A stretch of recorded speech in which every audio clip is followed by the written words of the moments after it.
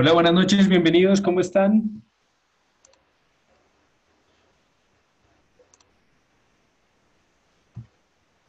Un segundo abro el chat eh, de Zoom.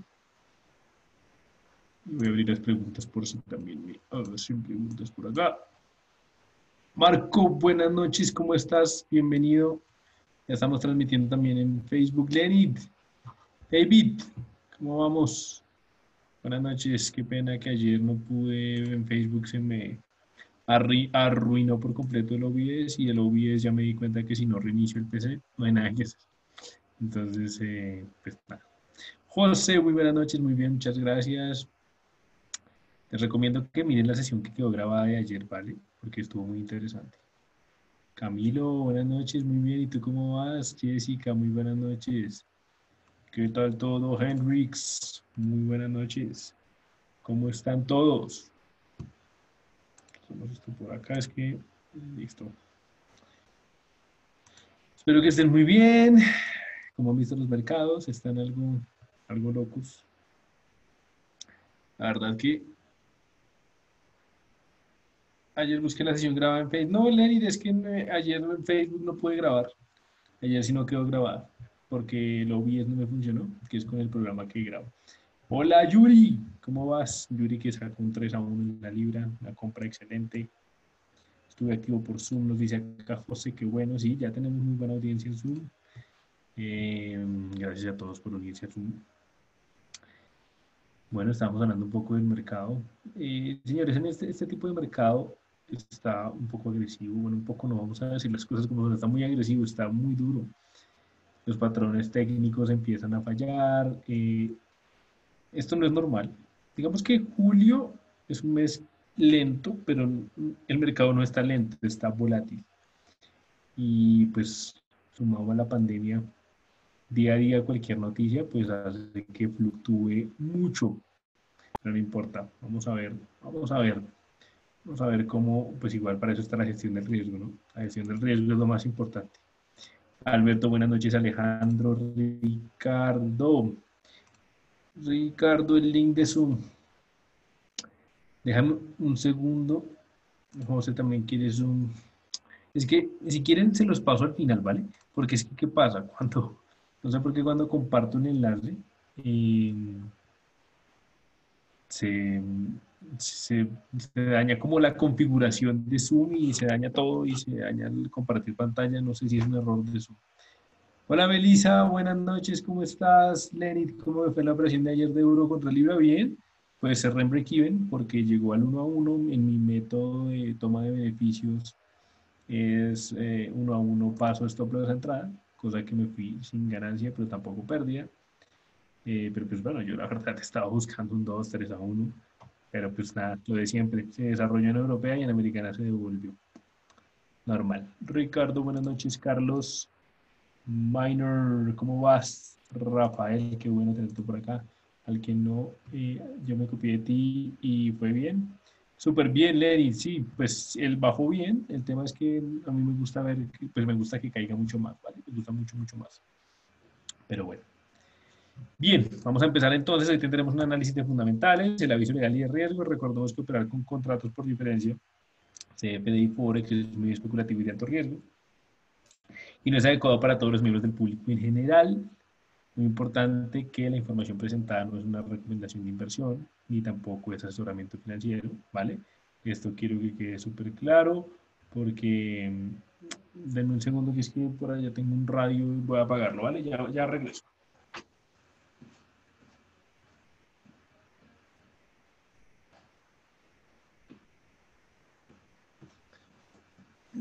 Ya.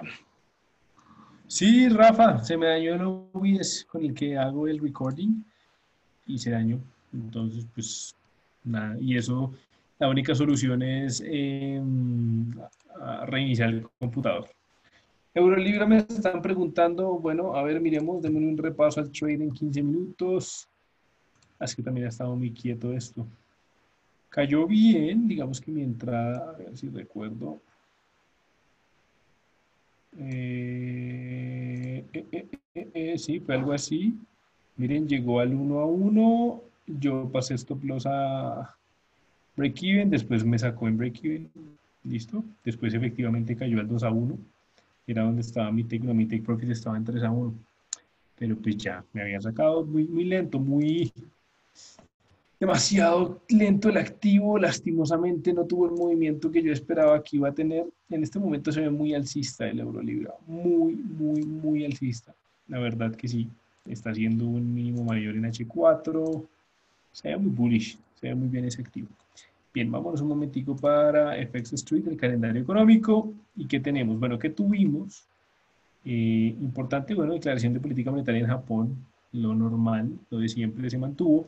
Pero en Canadá, listo, la decisión de tipos de interés, las tasas de interés de Canadá, vamos a mirar el dólar contra el dólar canadiense, que es el activo que más fluctúa. Tuvimos una caída, wow, estrepitosa, fuerte fuerte caída la que tuvimos en el dólar contra dólar canadiense. La verdad que no me la esperaba. No me la esperaba. Mm, sí pensé que iba a haber volatilidad, pero eh, volvió, digamos que la, volatilidad normal que teníamos antes de, la pandemia con este tipo de, de, pues, de, noticias, de decisiones de tipos de interés. Volvimos en el marco diario, nos enfrentamos nuevamente a esta zona. Ah, un segundito, porque tengo que activar mi herramienta de dibujo por acá. Le di a lo que no era. Acá. Listo. Vale. Entonces, entonces, eh, volvimos a una zona de soporte clave. ¿Listo? Cuidado porque está, por más de que sea una supervera de rango amplio, ese 1.35 puede hacer que el activo rebote. ¿Listo? Por acá nos dice Marco, parece que está haciendo una B en USD CAT. Ya lo revisamos. Hay que tener un poco de cuidado porque este nivel de soporte, miren que cada vez que lo toca, pues el activo rebota fuerte, ¿listo? Entonces, esto simplemente fue una vela de fundamental, ¿vale? Esto se debió única y exclusivamente al tema de que, pues, tuvimos decisión de tipos de interés y que el activo eh, claramente, pues, cayó fuerte, pero en esa zona de soporte técnicamente podría volver a subir. Recordemos la clase de ayer de psicología que estuvo muy, muy buena. Entonces, los que no la hayan visto, les recomiendo. Eh, eso quedó grabado en YouTube. Y nada, está, pues estuvo súper interesante el libro. Está muy, muy chévere. Yo apenas lo estoy leyendo. ¿Vale? Apenas lo estoy leyendo con ustedes. Bien, cayó súper fuerte. ¿Qué podemos esperar del dólar canadiense? Efectivamente, pues está haciendo una pequeña lateralidad. Jorge, ¿cómo vas? Buenas noches. Una pequeña lateralidad. Aquí podría exactamente hacer una B. El tema es que está muy extendido, ¿no? muy extendido y el nivel de soporte puede que... Hola Sebastián, ¿y puedo entrar en Zoom? Me lleva otra clase, no entiendo. ¿Por qué te lleva a otra clase? ¿Alguien, ¿Alguien de Zoom me quiere hacer un favor? De mi audiencia de Zoom, ¿me pueden enviar el link? Es que si yo lo cojo, eh, o me pueden decir cuál es el número de, esta reunión. Es que no, sé por qué no me deja ver acá qué reunión es esta. Ah, un momento.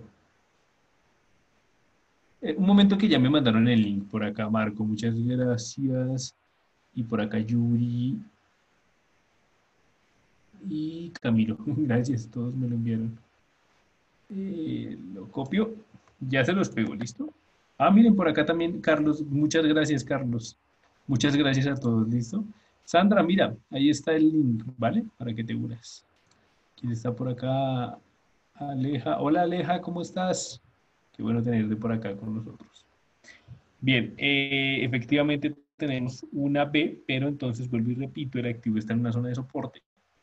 En ese soporte puede que rebote al alza. ¿Listo? Elena, buenas noches. ¿Cómo estás? Bienvenida. a ver, a mí qué me gustaría ver en el canadiense, la verdad que sí me parece. Fíjense que los activos se están comportando de manera muy, digamos que la réplica de semanas es muy, pero muy interesante. En el pasado tuvimos una, un inicio pequeño, una recuperación, ruptura fallida y después tuvimos pues esta fuerte, fuerte, fuerte subida del dólar canadiense. Puede que tengamos algo similar, puede que en europea el activo suba, ¿listo? Haga un breakout failure alcista y después si vuelva y suba. Yo que recomiendo, hoy lastimosamente la sesión americana no estuvo tan rápida como como de costumbre, pero yo creo que mañana con los tipos de interés que tendremos para euro, esto se va a tornar bien interesante. Y si el canadiense vuelve, esto se convierte en un breakout failure, sería muy interesante venir a buscar compras, ¿listo? En el nivel de, de, soporte que está vulnerando que puede ser fallido. Ahora bien, la otra alternativa, que sería también pues interesante, sería ver que el activo venga y visite la línea de tendencia, ¿vale? Y volver a vender en esa zona. Aunque esta línea de tendencia ya, lastimosamente ya no nos sirve para nada. Bueno, mentiras, bueno, el diario sí, pero en una hora pues no, mejor quitarla. Hola Laura, buenas noches, ¿cómo estás? Se va, perdón, una consulta, ¿cómo haces esa flecha azul? Me bajé MT4 a la PC y me estoy amigando. Ah, vale, vale, vale. Eh, esto es una aplicación distinta de MT4. Se usa, eh, se llama Demo Helper. Mira, acá es esta, es, la consigues gratuita en Google y la descargas y entonces simplemente eh, ahí te dan unos comandos que puedes utilizar. Hendrix nos dice, podría programarse by limit. A mí casi no me gusta el buy limit Hendrix, la verdad. Es como que casi me gusta entrar a mercado o compra esto o venta esto. Pero por supuesto, claro que sí. El tema de la buy limit acá es que el activo puede que siga cayendo. Si rompe de 1.35, sí puede que caiga fuerte. El tema es que sabemos que a mí me gusta entrar con patrón, ya sea compra o venta, y para venta no hay patrón. Para compra tal vez lo habría. ¿Listo? El euro, pues estuvo súper, súper fuerte. Mañana tendremos... Eh, noticia importante. Jueves 16 de julio, decisión de tipos de interés. Ya estamos en, bueno, esto ya lleva rato en cero, ¿no? Lleva rato que el activo está en, así esto lleva bastante tiempo, estaba confundiendo con, con la Reserva Federal. Eh, lleva bastante tiempo en ceros, entonces puede que pase algo similar al dólar canadiense, puede que tengamos una volatilidad y puede, me gustaría bastante que la volatilidad lo obligue a caer. Eso sería interesante que la, volatilidad lo obliga a corregir. No porque quiera buscar cortos, sino porque si el activo hace una buena corrección en diario, por ejemplo, que baje hasta el 1.13, aquí me gustaría volver a comprarlo. El euro está muy alcista finalmente, entonces, ¿qué quiero? Que el fundamental me ayude con un patrón, ¿listo? Un patrón eh, de compra en el marco diario para ir a buscar compras. Hola David, un segundo, mira, vamos a ver a qué hora es, eh, hora Colombia esta noticia. Decisión de tipo sí, 6 y 45, faltando 15 minutos para las 7, típico del euro, que siempre no es una hora estándar 7.30, sino siempre eh, faltando 15 minutos. Listo, cumbre especial de líderes de la Unión Europea, política monetaria y conferencia de prensa, claramente después de, después de la decisión de tipos de interés, pues claramente se hace la conferencia de prensa. Claramente si miramos... Eh, yo me iba a ir a las tasas de depósito, vamos a las tasas de interés. Miramos un momento la gráfica. Si no, se ha mantenido igual. Se lleva desde, desde 2019, incluso antes, en cero. Entonces, puede que... Eh, hola, buenas noches. Está muy bajo el volumen, nos dice Carlos. ¿Me pueden confirmar, por en Facebook? Y ya reviso a ver si le subo. Ah, pero lo tengo al máximo en en OBS y tengo el, micrófono súper cerca. Lo voy a acercar un poco más y voy a tratar de hablar un poco más duro, ¿vale? Bueno, ¿qué podemos esperar? Vamos a ver, porque yo quiero, yo quiero... A ver, número uno, en el marco de una hora tenemos sobrecompra, listo, está extendido con respecto a la media móvil de 200 Aparte de la extensión, fíjense que el activo está presentando bastantes mínimos mayores. Tenemos 1, 2, 3, 4, 5 y 6. Dentro del chartismo clásico es común ver 1, 2 y 3 mínimos mayores en una tendencia alcista. El cuarto mínimo mayor ya supone que el movimiento se está extendiendo demasiado digamos que claro, nunca va a ser perfecto, nunca vamos a tener eh, un activo que siempre haga tres mínimos mayores, después corrige y después vuelva a hacer los mínimos mayores. No, pero ya tenemos entonces cuatro, entonces uno dice, bueno, cuatro, cinco y este sería el sexto. Miren que cada mínimo es más alto que el anterior, no importa si la corrección fue fuerte o no, cada mínimo es más alto que el anterior. Dentro de mi técnica de negociación, la que yo utilizo, yo negocio el primero, el segundo o máximo el tercero, siendo el primero y el segundo mis favoritos y este pues como que me la pienso, ¿vale? Ya negociar este mínimo mayor y con el tipo de corrección que está presentando, pues para mí ir a comprar, yo no compraría euro, ¿listo? quiero aclarar una cosa, no significa entonces que porque yo diga esto, entonces el euro no pueda subir y mañana entonces llegó a máximos, entonces dijeron, ah, no, es que Sebastián se equivocó.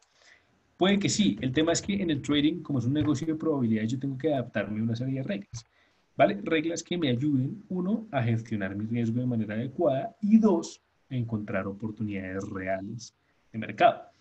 En este caso, como está tan extendido, yo no voy a comprar, pero tampoco voy a vender inmediatamente. La única forma en la que yo entraría en venta sería, bueno, aquí parece que quiere hacer un hombro, cabeza, hombro. En una hora a mí no es que me guste mucho ese patrón. Me gusta en cuatro horas o en diario, en una hora parece que puede ser falso. Pero si veo debilidad y rompe el 1.13 después de la noticia, pues podría entonces uno pensar de manera técnica que puede caer hasta el 1.13, 142. ¿Listo? Sería muy interesante ver al euro en el nivel del 1.13, 1.1314, ¿vale? Yo creo que podría ser, los tipos de interés acá generalmente eh, cuando se mantienen estables hacen pues que la divisa caiga. Por acá nos dice Basilio, te seguí con Libra ayer, ¿con Libra, Euro Libra o con Libra dólar? ¿Vale? Entonces por debajo del 1.13 podría haber algo interesante. Nos dice Luis, vender en el 1.1495. 1.14 mm, no. Yo vendería por debajo del 1.1395. Creo que tú, que, creo que te ibas a poner 1.1395, mi imagino. Por debajo del 1.13 me parece que podría servir una venta. Sin embargo, muy importante, esa venta se tendría que hacer después de la decisión de tipos de interés. Tenemos muy poco tiempo, un lapso muy pequeño entre lo que queda. Libra dólar, eh, libra dólar, libra dólar, libra dólar.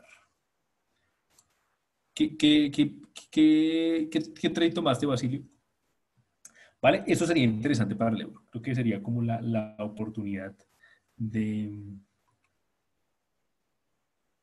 Uy, me pusiste, me pusiste acá todo.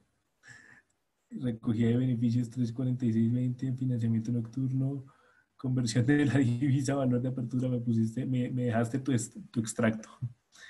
Gracias, Dani. Gracias por confirmar y buenas noches. De una vez aprovecho a saludarte. ¿Cómo estás? Ahí tiene la posición positiva, mejor dicho. No, súper bien. Qué bueno, qué bueno.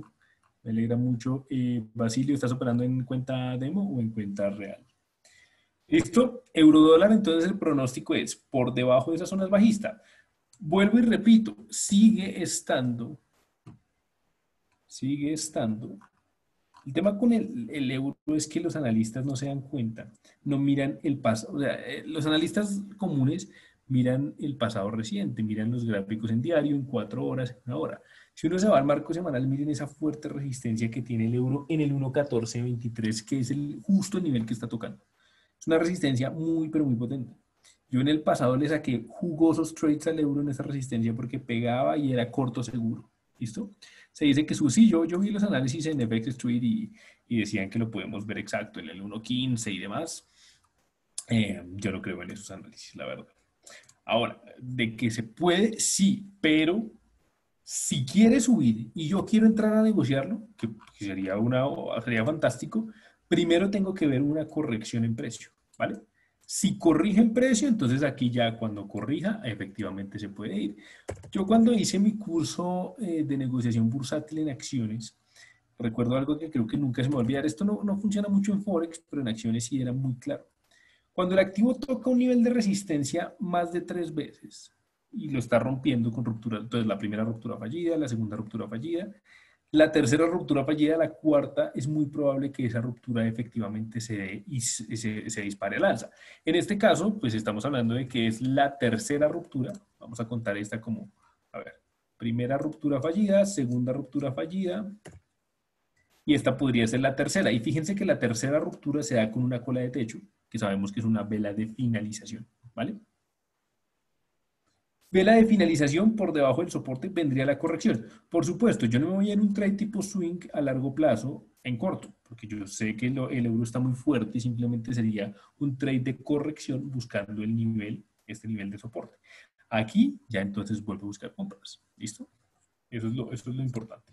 Sin embargo, pues sí, yo creo que si, el, si la noticia lo hace caer, pues miramos.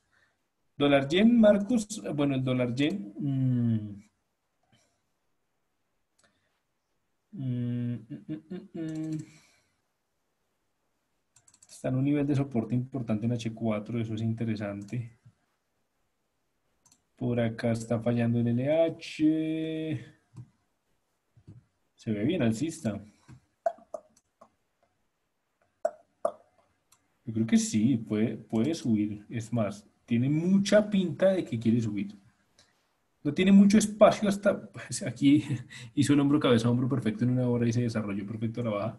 Pero fíjense que los activos, y aquí quiero mostrarles esto, vamos a insertar un rectángulo. Los activos están respetando exactamente, miren, miren el respeto del nivel y miren que está, es una réplica. Yo creo que en estos momentos eh, sentarse uno a hacer backtesting de los activos sirve bastante. Luis, buenas noches, bienvenido, ¿cómo vas? Aquí tuvimos un mínimo mayor desarrollo, aquí está otro mínimo mayor que podría tener el mismo desarrollo alcista. Entonces uno puede, digamos que hacer una réplica de esto. A mí no me gusta negociar en asiática, pero pues aquí habría un patrón de negociación. Algo así, vamos a, no, hay que ponerlo así para el riesgo y demás. Estaría entrando el trade en este momento, bueno, estaría a punto de tocarse, buscando un 2 a 1 inicialmente y si rompe pues ya tendría mucho, mucha fluidez. Pero yo creo, la verdad, lo que me muestra el activo es que efectivamente quiere subir. Quiere subir. Es que a mí me gusta mucho en el marco semanal y me gustaba bastante el tema de que estaba en un breakout failure. ¿Listo? Por eso lo busqué el trade eh, antier, fue eso, sí, el lunes. Porque la verdad lo veía en el 107.86, ¿vale? Ese era mi nivel, era el nivel que estaba buscando.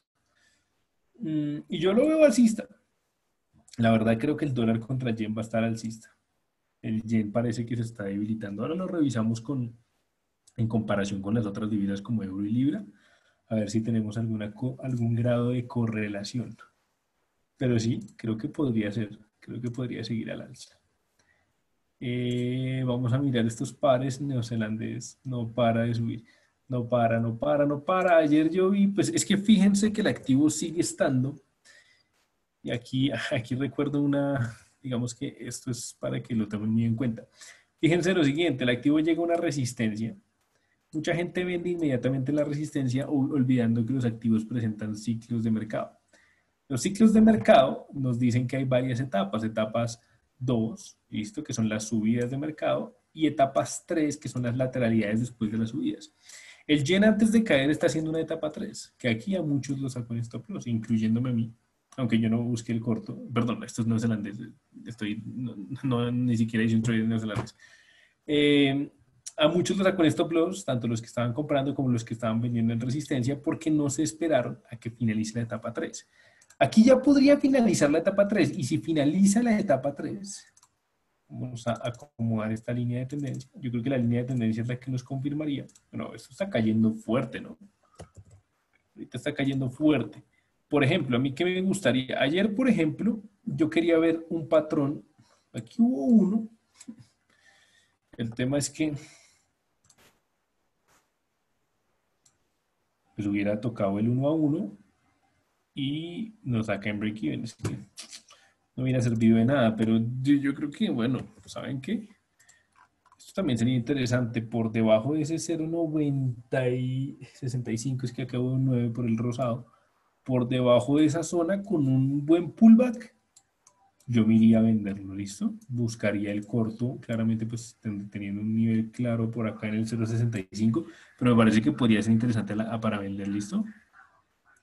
Qué bueno, David, te felicito en Real con Tickmill, qué bueno, felicitaciones, el mayor de los éxitos, espero que esa cuenta crezca como nunca.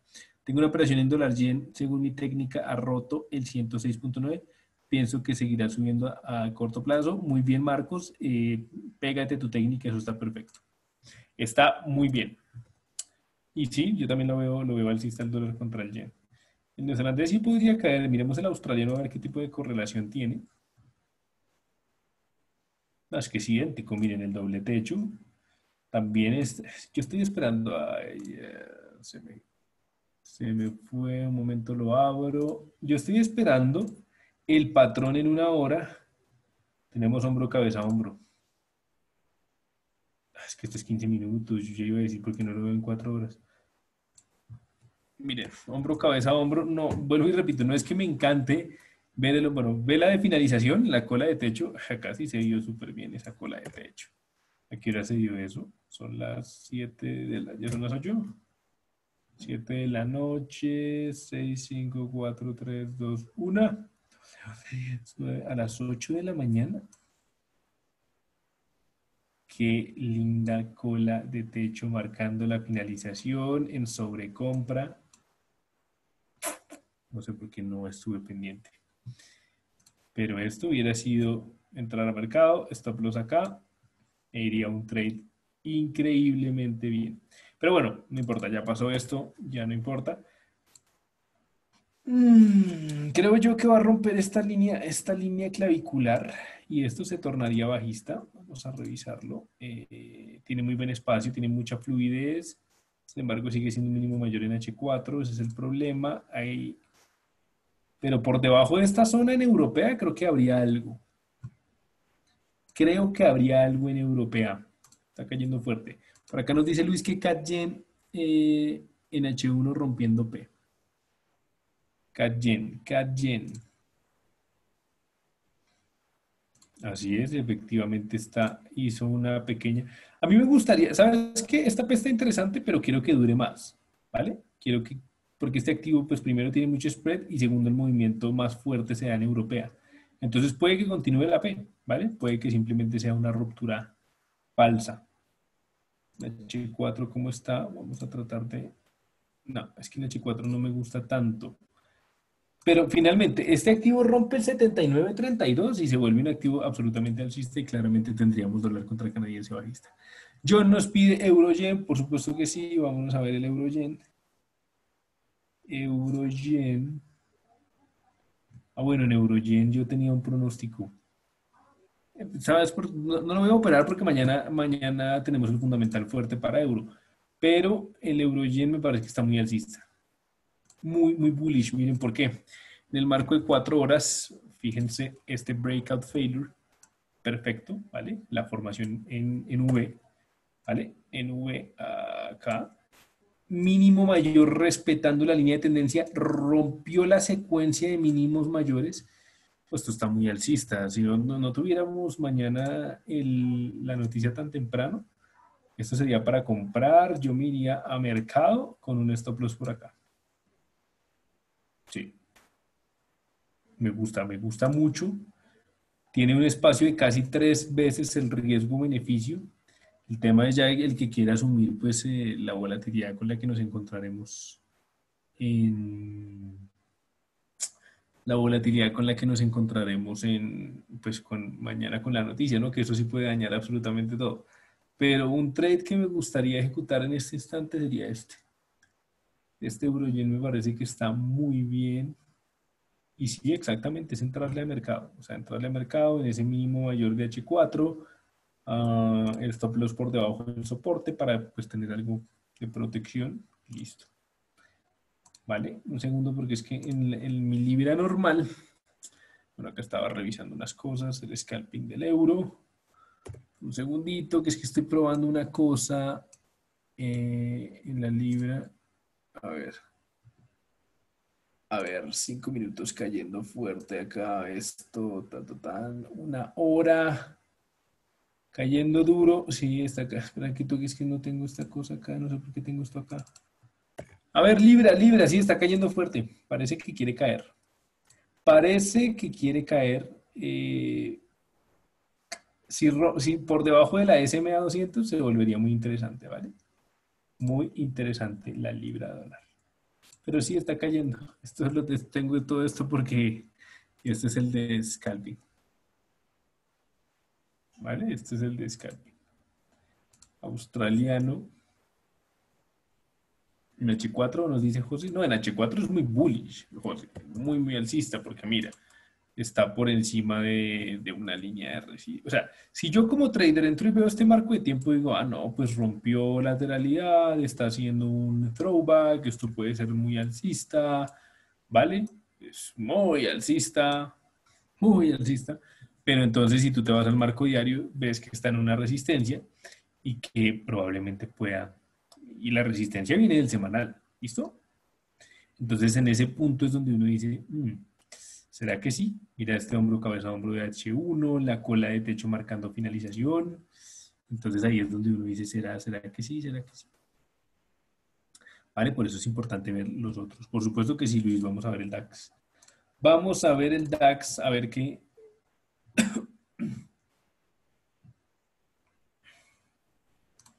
Hermoso doble techo. Ahora sí estamos en el pleno doble techo. Ahora sí estamos en ese pleno doble techo. Muy, pero muy bonito. Necesita la corrección urgente. Necesita venir al menos hasta el 12.440 aproximadamente sería el nivel. En H1, pues claro, la, la sesión asiática está marcando fuerza bajista. Yo creo que a mí esto me gustaría buscarle un corto al menos hasta la línea de tendencia principal y fíjense que hay mucho espacio. Hay mucho espacio. ¿Qué opinas sobre US 30 Cash para mañana? El Dow Jones, claro que sí, déjame un segundito, miramos el Dow.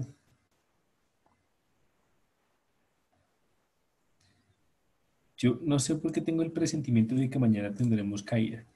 No significa que toda la semana puede que vuelva a subir, pero mañana creo que los índices van a estar bajistas. Creo que los índices van a estar bajistas. Aquí, pues hay un patrón. Esto es un LH. Aquí está. Esa es la forma operativa. Entrada en los mínimos. Stop loss por acá. Y en cualquier momento puede tener el desarrollo bajista. En esto sí hay que tener cuidado porque cualquier noticia de que Moderna dijo algo, entonces de una, de una se va para arriba, pero me parece técnicamente se ve bajista los índices podrían tener un día bajista, sería interesante porque necesitamos correcciones para buscar compras en el, en el largo plazo, ¿vale? Pero sí me parece que podría estar interesante. Ese Dow Jones, miremos el Nasdaq y el Standard Poor's.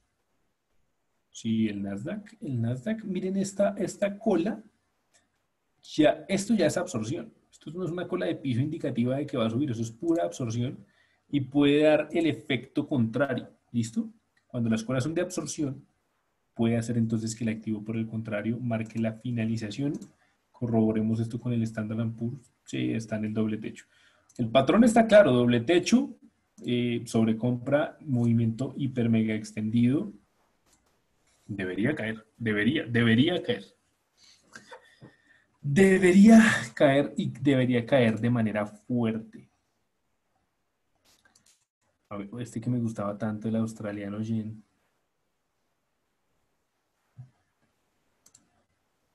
que está muy sucio. Más que un activo así de sucio, inmediatamente yo me salgo porque no, no, no, le hallo la, en, mi, en mi operativa un activo así de sucio no me, no me sirve. Este fue, el que, este fue el que me dio tanta piedra. Llevaba buscando el trade hace, mírenlo, y es que se dio perfecto, perfecto.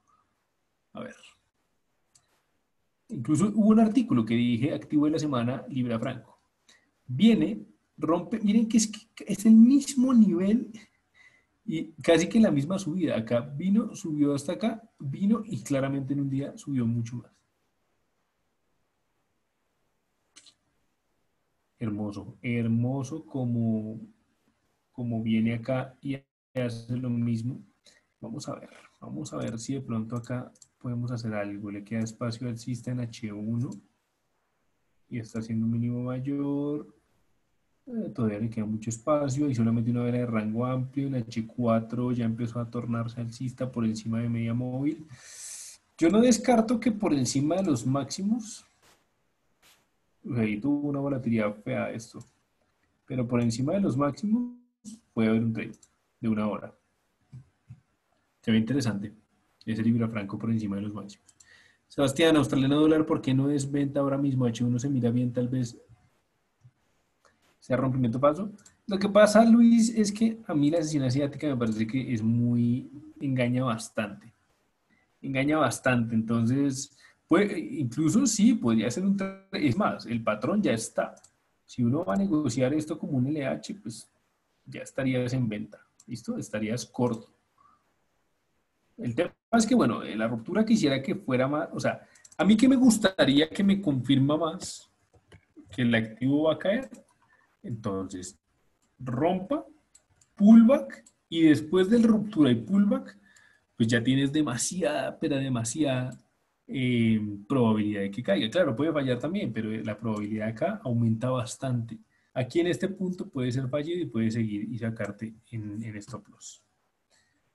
Ya vieron oro, eh, oro, oro, oro, oro, no, oro no lo hemos visto. Ah, pues está en una gran etapa 3, no ha hecho nada, súper quieto. Normal, ya con tanta extensión en el marco diario, yo creo que me voy a quedar esperando esa corrección. La verdad, sigo esperando esa semana en la que el activo me diga, vuelvo al 1748 y empiezo a subir, ¿vale? Sigo expectante esa, esa semana o ese mes, porque no sé cuánto se vaya a demorar. Probablemente dos semanas más o menos se demoraría haciendo la corrección para venir a buscar compras, pero pues el oro en estos momentos está muy lateral. Buscar un trade en un activo tan lateral, pues no, a mí, a mí por lo menos no, no me llama la atención. Hasta que, hasta que corrija me parece que sería interesante. Vale, Teresa, esa es la opinión. Lo mismo para la plata. Lo mismo para la plata. es absolutamente igual. Este, como, como no la negocio ni siquiera le he arreglado los marcos, no los he puesto como, como realmente tienen que ir, porque esto claramente no va así. La plata. Libra Yen. es que Libra Yen. Libra Yen sí se ve muy alcista, ¿no? Se ve muy alcista respetando esa línea de tendencia del marco diario. Estos 15 minutos, en un momento pongo un H4 que me pierdo. Me pierdo. Mmm, es que porque no, entiendo por qué los activos presentan tanta desalineación. Es una desalineación que no hay una alineación común para uno buscar la compra. Me parece que haya nada para buscar la compra. Eurolibra, no, pues es que Eurolibra está muy quieto, ¿sabes? Muy quieto, pero se ve muy alcista. Muy, muy, muy alcista porque ya hizo HL, hizo la corrección necesaria en H4, se tomó su tiempo incluso con vela martillo, con la de techo, pero este activo sí que se ve muy, muy, muy alcista en este momento. Ya la proyección bajista, pues, completamente cancelada. Es que miren, esta, esta triple este, este bullish sandwich es pura marca también, pura volatilidad, es como ver 3 doji. Pero este activo a mí me gustaría buscar en compras, el euro libre. En este momento sí, porque mira que en el marco diario tiene bastante fluidez alcista. ¿Listo? Hay, que tener en cuenta que hay que tener en cuenta para que, tengamos en cuenta esto, que este pico puede generar una zona de resistencia, ¿vale? No la marco porque finalmente la próxima resistencia ya va del marco semanal, pero esto puede generar un, pues que el activo lo teste y en ese punto se detenga. Alberto, muy buena pregunta. Mensual, semanal y diario únicamente, ¿vale? Si, quieres poner H4 y H1, las propias de estos tres marcos, pero es que poner soportes, incluso hasta H4 lo tolero, pero poner soportes y resistencias en H1, pues no sirve nada. O sea, no te van a dar ninguna señal. Lo mejor, mensual, semanal y diario. Diario es en estos momentos el marco que realmente más nos dice, eh, más nos, nos, aporta para ese trazo de soporte y resistencia. ¿Vale? ¿Qué más tenemos? Pues el viernes tendremos índice de sentimiento del consumidor de la Universidad de Michigan. ¿Listo? Vamos a ver el pronóstico 79, el último 78.1. Parece que está bien. Canadiense franco en H4 posible venta. Canadiense franco, creo que yo lo tengo. Calle, no lo tengo. Canadiense franco. Dame un segundito. Canadiense franco. Canadiense franco.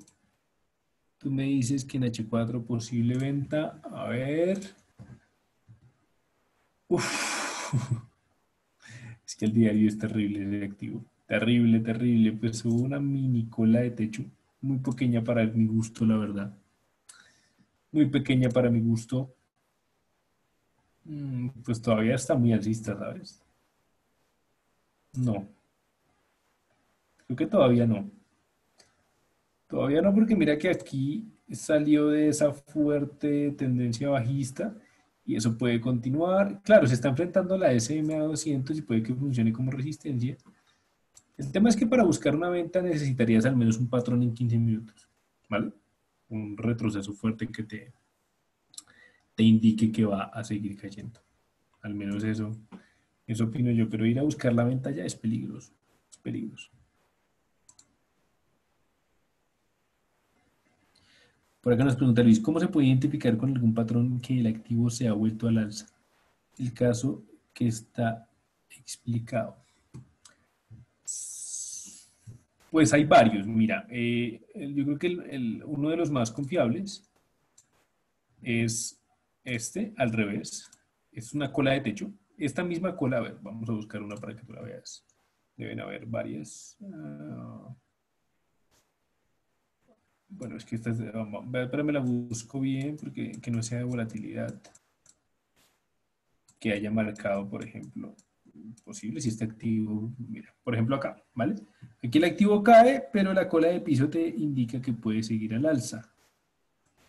Eh, esta, por ejemplo, cola de piso, ¿vale? La, la famosa vela martillo. Hendrix, es que pasa que la pongo en zoom, pero cuando la pongo, em, cuando la pongo acá, entonces a la gente de zoom le aparece mi cámara y por acá les aparece una cosa negra. ¿Me confirman, por favor? Y si no, pues la dejo. Pero entonces siempre me, la vez pasada me dieron. Ahí la acabo de poner, entonces voy a esperar a ver ellos qué me dicen. Y si ellos me dicen que no aparece lo negro, la dejo. Pero es que sí aparece. Sí, ¿ves? Acá ya nos dice Marco que se ve negro. Yo no sé, no, sé, con GoToWebinar eso sí no pasaba. ¿Vale? Y pues es que OBS no me deja tener dos cámaras eh, al tiempo. Eh, por acá nos dice Carlos y Master, yo les compartí al compañero. Muchas gracias, Carlos. ¿Qué significa que un activo esté sucio? Claro que sí, Jessica. Eh, significa que tiene muy buena pregunta. Qué pena si, si de pronto lo habías hecho antes. Eh, vamos al activo que estaba sucio para mí. Creo que era... Ya se me olvidó. Eurofranco, no. ¿Cuál era? Libra Franco tampoco. Em, ahora se me olvidó cuál era. Eh, bueno, cuando tiene muchas colas, que el, cuerpo de la vela no se alcanza a identificar varias colas seguidas, eso inmediatamente es por acá leen sí, es que aparece negro. Eh, aparece negro cuando pongo la, cámara acá, no es como con GoToWebinar, que cambiaba. Espera a ver si encuentro el activo exactamente que te quería mostrar. Pero sí, más o menos cuando tú ves esa cantidad de colas, eso es lo que llamamos como un activo sucio, porque no tiene una, como una dirección determinada, clara. Era australiano neozelandés, gracias Hendrix. Vamos a ponerlo australiano kiwi. Efectivamente. Mira, esto, mil ¿ves? Una cantidad de colas, volatilidad, gaps,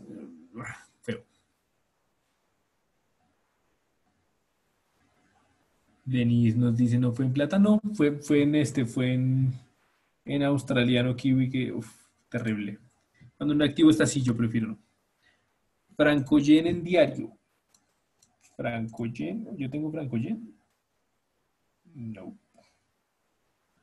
No, no, no, no, creo que no. Aunque yo creo que una vez lo puse. A ver, vamos a poner entonces el Franco Yen.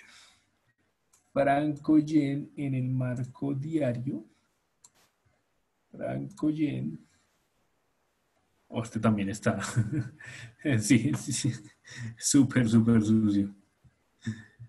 Eh, vale, con gusto, Jessica. Sí, esto, esto es un activo bastante, bastante sucio. Incluso en una hora también. Ah, no. Bueno, no, no, bueno, sí. Miren esto. Por ejemplo, esto. Todo esto, porque para poner un trade ahí es un poco, poco muy complicado pues yo creo que va a haber situaciones ahí. Me gustaría, yo creo que enfocarse en las divisas, pero los índices también están muy bien. Lo que es el DAX 30 y el Dow Jones, claramente creo que en índices sí toca estar, no dejar trades tipo swing, sino simplemente estar pegado a la pantalla y tomando beneficios rápidos. Buscamos patrón bajista, con, venden, porque saben que a las 8 o 9 de la mañana puede salir Trump o Moderna o otro laboratorio a decir que hay vacuna, que la ivermectina, que un medicamento, y hacen que el mercado empiece a subir. Entonces no queremos ganarnos stop loss innecesarios, ¿vale? Entonces yo creo que los índices, muy importante, si van a, hacer trading, pues tratar de que, de negociar esas negociaciones, no, no necesariamente scalping, porque pueden hacerlo en un marco de 15, una hora, pero van uno a uno empezar a cerrar, ¿listo? Por acá nos dice Luis, cola de piso en DAX en zona de soporte en 15 minutos. En DAX,